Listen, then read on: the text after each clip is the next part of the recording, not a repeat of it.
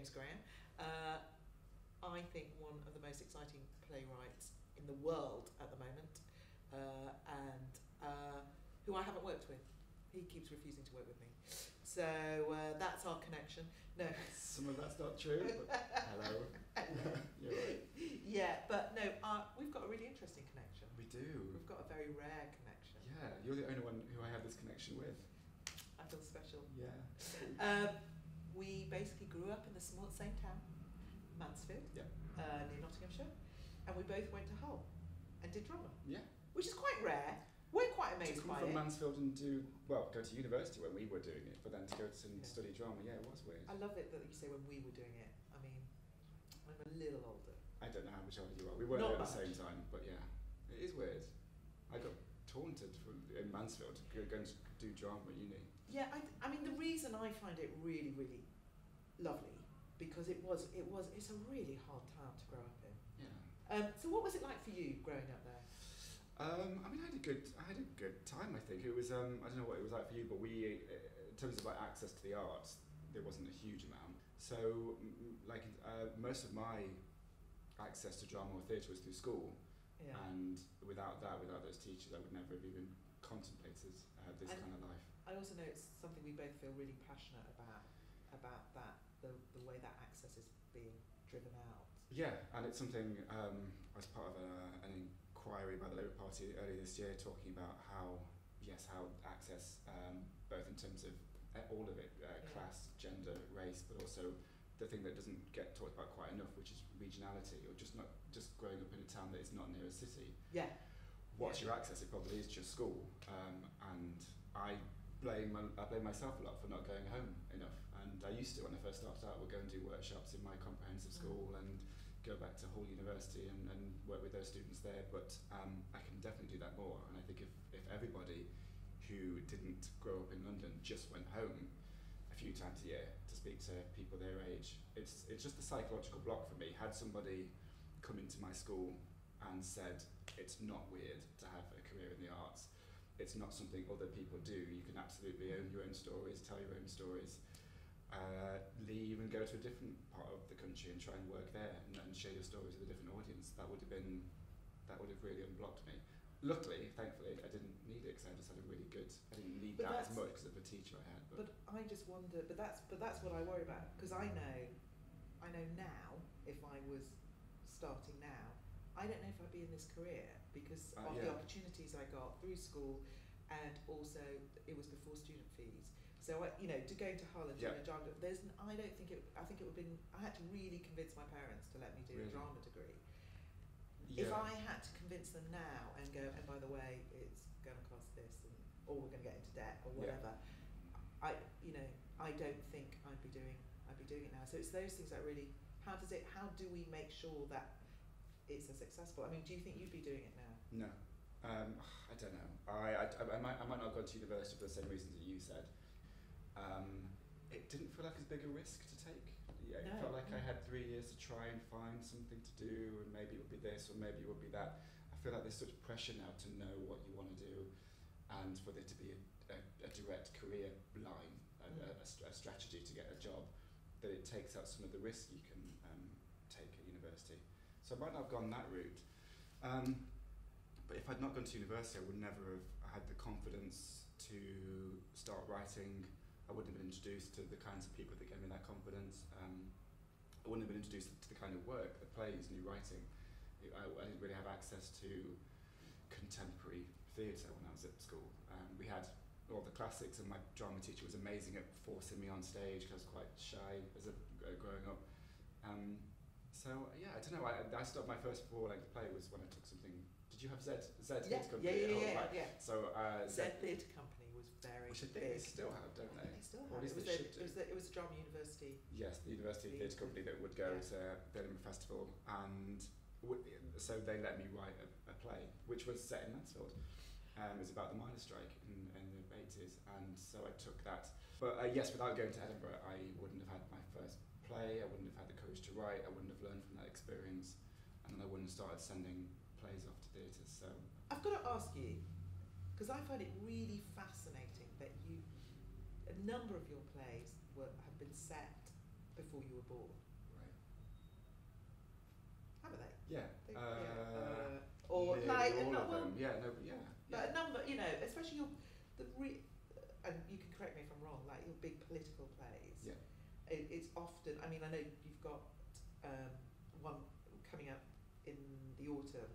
That's present day. No. No, that sort of goes past as well. So that's the Labour of Love play. So what is it? What is it that it makes you write about that time?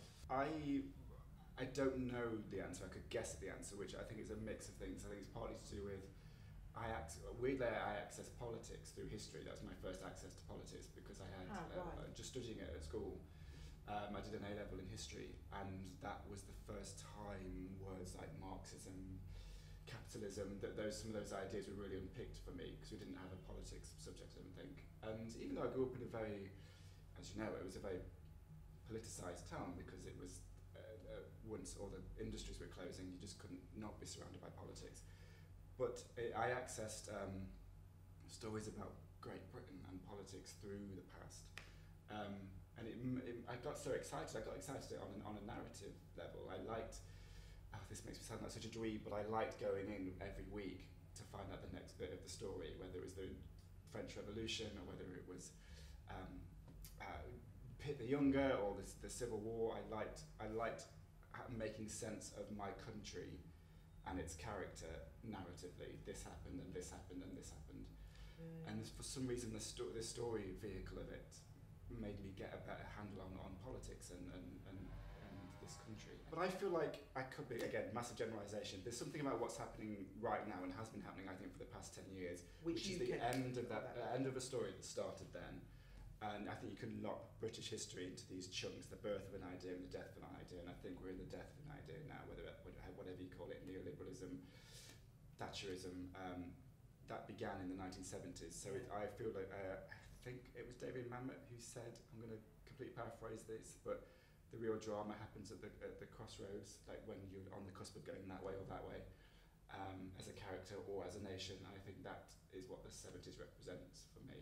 So whether it's this house, which we did at the National, or the play um, doing at the Almeida at the moment called Ink, which is 69, 70, I just find it so rich. I don't know. I don't probably I just want to spend time there. I don't know why. and I imagine you have to really immerse yourself in the research and the Yeah, detail. but I love that side of it as well. I, I, I love that. I love the you? academic side of it, whether it's books or I like the researching, um, going to interview people and meet people. I, and I like, when I start a play, I like to hit the ground running with wads of, of notes and characters.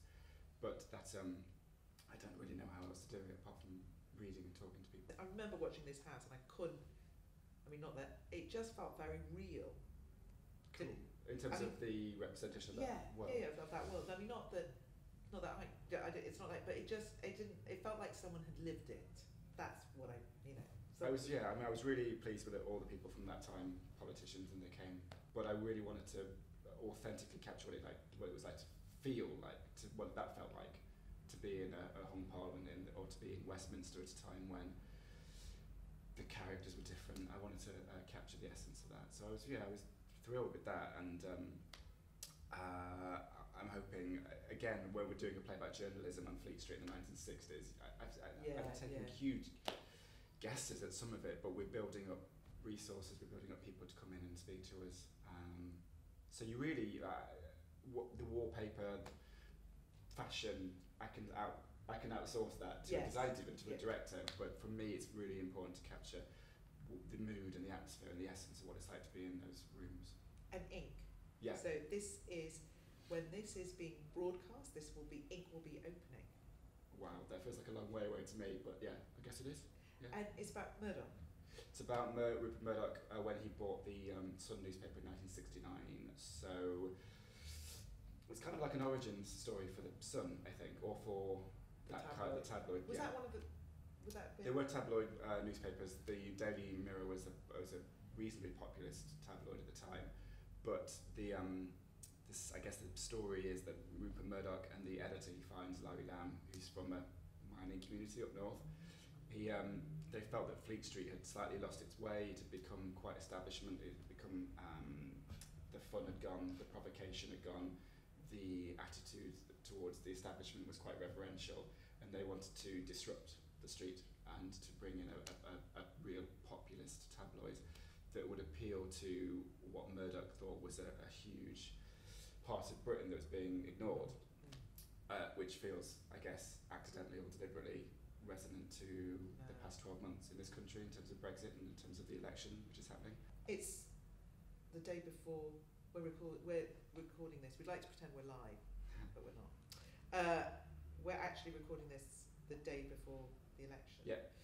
And It's like my World Cup. I feel like I love elections. It's like the night before Christmas for me, except I'm not particularly excited. I'm not excited. What's going to happen.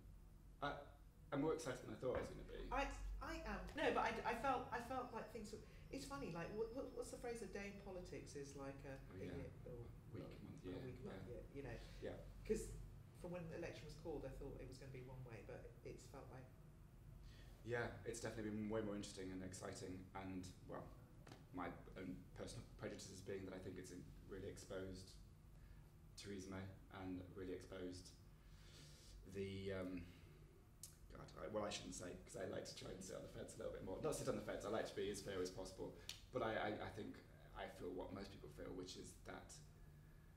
Uh, I suppose and I'm an optimist like you, but I feel a bit depressed about no, I'm not an optimist at the moment. I'm, yeah, I've, I've, it's really. And I'm, I'm the one that always yells at people when people go, oh, it's so rubbish at the moment, and they're all the same. And I, I, I, I get really angry at that because I think what it's a, um, it's uh, you absolve you absolve yourself of responsibility for being part of the conversation.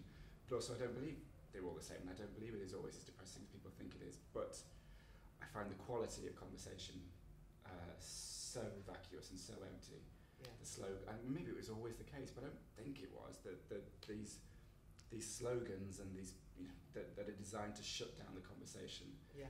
uh, or just think of the, the very idea whether you whether you're a conservative or not, you support Brexit or not, the idea that opposition is the enemy, that, that, that having a conversation or having a debate, which is what theatre is meant to do all the time, is suddenly um, uh, unpatriotic or a betrayal of something uh, or anti-democratic.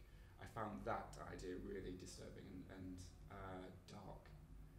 Uh, so to call an election based on the idea that to have to oppose uh, the government is is a betrayal or is unpatriotic, uh, I find sort of sickening. So uh, I think we are, I think I have wider fears and and and, um, and but aspirations that that's the thing we have to fix the quality the quality of conversation to learn how to talk to one another again and to learn how to um, have a, a a quality of conversation that isn't so aggressive or, or brutal or, or sort of empty. I totally agree, and also doesn't shut down. We, we kind of want, and yeah, we kind of the talking statements or like you said, slogans that, yeah. that are absolute that are just like we, there's no debate or there's no nuance. We don't want nuance or we don't want. And I think Yeah. theatre lives in that grey area. Hope so. and yeah. you know, well, that's what I love about you know. It's like oh, we think you know that that's what we live in. Yeah, well, and, and, questions. and, you know, people say this all the time, don't they? But the um, the, the echo chambers we apparently live in online, I don't. I think sometimes that can be exaggerated. And yet, I found my I've had to check consciously check myself whenever you your instinct is to block somebody you don't like or to remove from your news feed opinions that uh, upset you, bother you, uh, rile you up so much that it distracts you from your day. I, I, I what's the that, would, that I guess that would be like going to a play, which is just Telling you a what to think. confirmation of something you already believe and what's the point. So we all and it's not a left right thing it's a we all have to take responsibility I think for somehow listening better talking better um, not not literally blocking uh, other people's ideas. Um, maybe theatre can be part of that but that's but again maybe naive. But we come from a, a town that tomorrow could possibly, for the first time, change party yeah. for so the Mansfield consists so I, I, I'm in Ashfield you in Mansfield but Yeah. they're basically next to each other yeah, Yeah. Uh, so it's is it nine, uh, I think it's 1923 was the last time it was a Tory and See. it's looking likely that it's going to. I think so, yeah. For a, uh, a Sorry, town that was that's- yeah. industrial and uh, had mining and industry as part of its DNA and trade unions as part of its fabric, for people to be voting Conservative is at least interesting, whatever we think about it. Yeah, and I just got a, um, Because that's so different to your political Yes, it is. seventies set dramas. Uh, I think the rule, I think the drama, dramaturgical rules are the same. Yeah. Um, but yeah, it is. Uh, I had fun on doing a Broadway musical. It was, Yeah, yeah. I mean that's quite extraordinary experience. It was com- yeah, com- and it's completely different ki- types of people, types of creators, collaborators, concerns. Um, but it, and I, I and I could feel it was sat in like a different part of my brain. Like the headache it gave me was a different headache than the political play gave me. Um, it's a different muscle entirely, and you're one of uh, ten creatives who have to fix or solve or apply yourself to anything: dance, music, score, vocal arrangement. Um, but I loved I, what I loved about it. I loved the how forensic it was. Like if you would um, like working with a a, a music an orchestrator, and I would say things like, "Oh, just bring that bit of music back in here to fill that gap," and they would say, "No, but you can't because that's her theme and this is his moment." And we the way we stitch this music here pays off in that bit, and I just didn't think in those terms. Those Yeah, yeah. how you construct a musical. So I, I loved learning all about that. And I, but I, and also learning the language, like language again, like what you said about university. I didn't when I first walked into a room, and people asked me what I would Gary Barlow's music and Eliot Kennedy. They would say, "What do you think about this?" And I would say, "Can it be louder? Can it be faster?" but then you learn minor, major. So I would say, "Oh, I, I think it should be more major, less minor," and then you build up a, a bag of twenty words which you can use as your weapons to try and communicate what you think needs to happen. So that was that was fun. And uh, was it fun working with Gary? It was, yeah. He was he'd never done one before, and he'd he'd uh, so we both went on a journey together. And him and uh, his uh, writing partner Eliot Kennedy, we'd never done it, so we were surrounded by a team of um, Americans. Uh, Americans uh, who knew what they were really doing. know how to Americans who were like, oh, uh, Yeah. they had like our director Diane Paulus, who runs ART uh, Harvard. She done. She knew how you built. She knew how to build a musical, so we were sort of guided by her. Wow. Can I ask you a question? Yes, Are we ever going to do a play about Mansfield or Hull? We should do that. we should do that. I don't know what the story is. I don't know what it will be about, but I would love to work with you on that, whatever that is. I think there's a really because it's such an ignored story that Yeah. small town. Uh, Well, yeah, it's not I an ignored agree. story, but it's. But I think you're right. I think it's in the, it's it's a town that feels ignored Yeah. and always has done. I always remember growing up. It's changed. I always remember growing up in Mansfield. Like its claim to fame was the largest town in the country without a train station. I remember that. It's got a train station I know now. it's got a train so station they've now. lost but that. They've lost that. Stupid trains. But Rebecca Adlet, Ad- Adlington, Adlington, yeah, yeah. She, she, she put Mansfield on the map. Um, uh, I feel like there's more Mansfield people we could get in our play, but Rebecca. uh, Rebecca. Uh, really?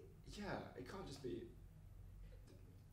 The, you have the Nottinghamshire Shane Meadows stuff, all those Yeah, actors, they're all yeah. like Vicky McClure and stuff, but maybe it is just Bex and me and you. Um, thank you. Thank you. It's been brilliant having Jane